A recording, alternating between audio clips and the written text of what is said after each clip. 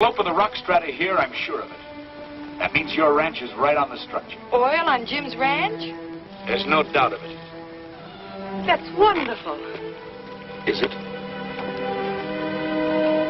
Jim, oil and cattle can get along together.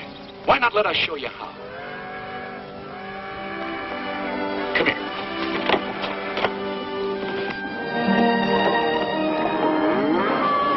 Now there's our well. The others will space one to every ten acres, each well fenced. There'll be plenty of pasture in between. So Jim agreed. And a year later, it was just like Brad had promised.